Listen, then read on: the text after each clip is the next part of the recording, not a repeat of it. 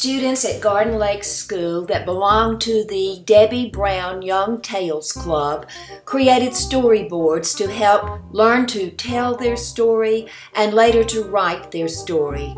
Gavin Green agreed to share his storyboard in this keynote presentation.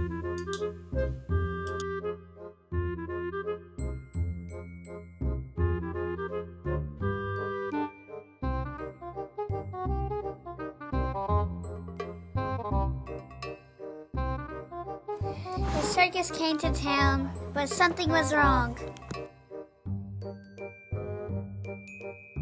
All the cotton candy was stolen. Then the ringmaster told one of the clowns to go buy some cotton candy. The clown got into his clown car to go buy the cotton candy. But then a angry truck driver pushed him off the bridge. The clown's parachute opened, but his car went straight into the water.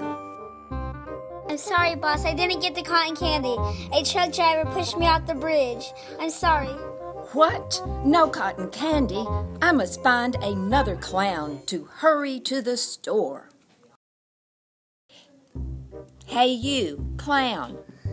Go to the store and buy some cotton candy immediately. Okay. And the clown went to find his clown car.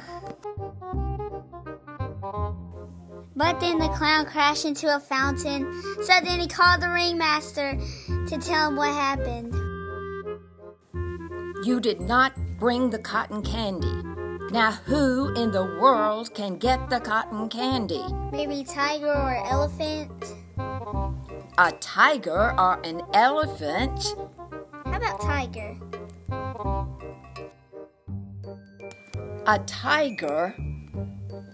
You can't go. There's no way you can get cotton candy. Uh, yes, I can. And I will go to that store. I will fit in that clown car to prove you wrong. Well, let's see you do it. Tiger got into the car to the supermarket to get the cotton candy ingredient.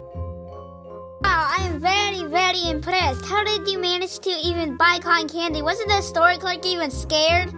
Oh, yes, he was scared a little, but I got it.